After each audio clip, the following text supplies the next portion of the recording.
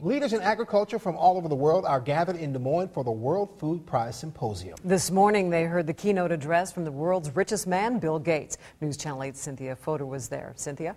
Well, Molly and Marcus, it was standing room only as the founder of Microsoft spoke at the Des Moines Marriott. Bill Gates told the crowd that farming is the key to fighting poverty. He is putting his efforts in improving agriculture in the world's poorest countries.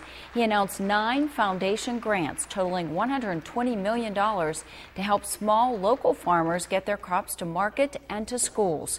The grants would also help fund higher yielding crops and new varieties of foods like sweet potatoes with a higher vitamin content that resist pets.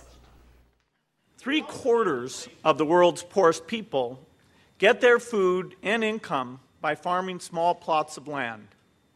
So, if we can make those smallholder farmers more productive and have more profit, we can have a dramatic impact on hunger and nutrition and poverty. Now, more than 1 billion people who live in poverty depend on agriculture for a living.